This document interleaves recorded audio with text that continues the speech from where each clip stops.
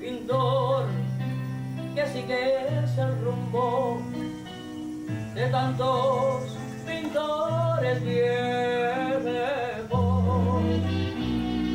Aunque la Virgen sea blanca, píntale angelitos negros, que también se van a negritos buenos. Indoors y pintas para amar,